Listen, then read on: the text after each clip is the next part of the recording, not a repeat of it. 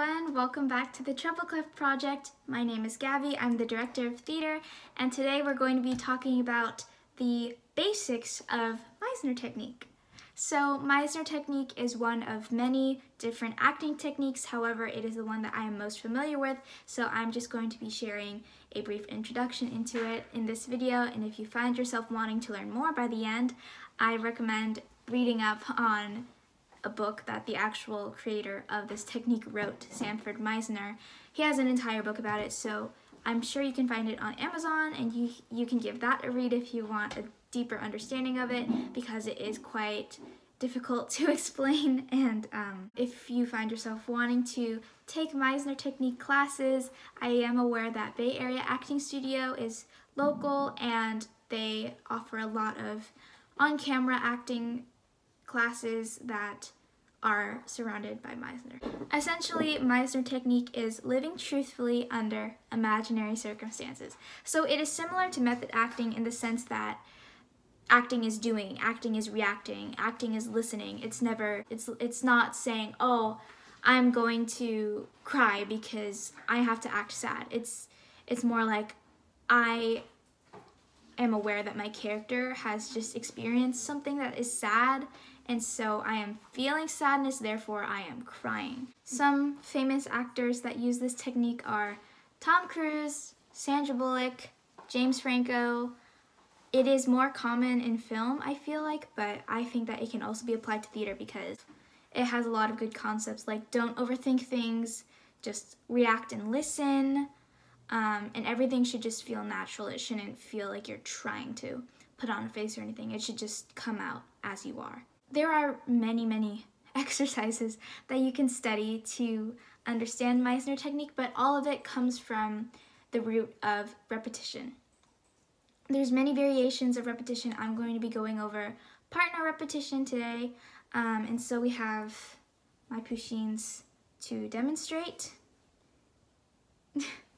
repetition is just about practicing listening and practicing getting out of your head. It's about practicing staying in the moment rather than worrying about your lines or worrying about what you have to do with your face. It's just living. Living, okay? That's what we're gonna do. So repetition is quite literally just repeating after each other.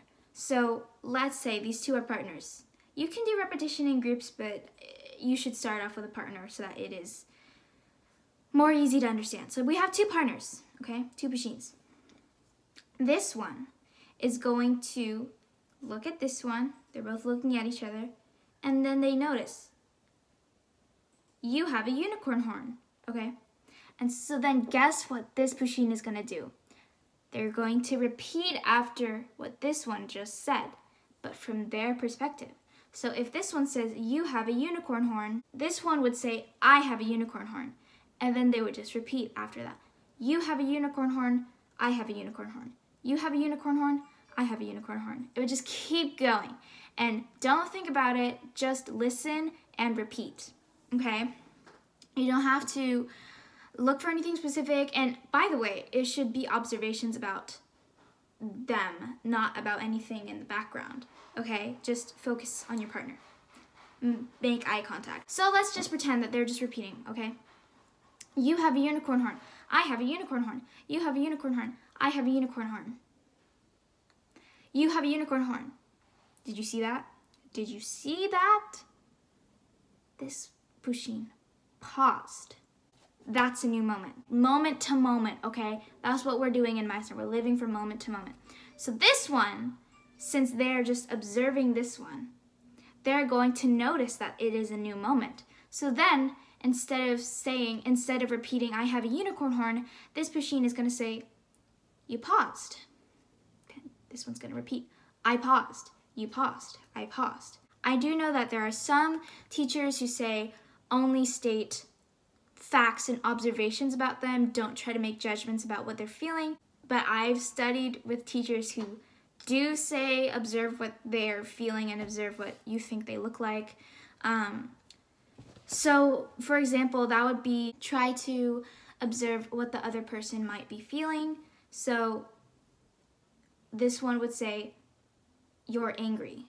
then this Pusheen would repeat, I'm angry, you're angry, I'm angry, you're angry, I'm angry. You had a bad day, I've had a bad day. You've had a bad day, I've had a bad day. You're observant, I'm observant, you're observant, I'm observant. It's just things that come up in the moment, whatever you're noticing, whatever you're seeing. There is no right or wrong. Um, you're just focusing on your partner and you just keep doing that until you get very comfortable with it. And then eventually, and then eventually you can add different circumstances on top of that to raise the stakes, but it's very difficult to explain. There is a YouTube video that further explains how you can go even deeper into repetition. The video is by John Windsor Cunningham and it is titled in all caps, What is the Meisner Technique? And it is a bit of a short film, but he just explains very well how much deeper you can go into Meisner. All right, so that was level one of repetition. I do understand that it is a bit confusing, so I'd recommend trying it with a friend. And it might seem uncomfortable at first, but that's kind of the whole point of repeating is just to get comfortable, you know? Take a breath. Just observe, stay in the moment, and then you can apply that to your acting. Once again, lots of good YouTube videos. You can look up lots of good books, and there are classes you can take.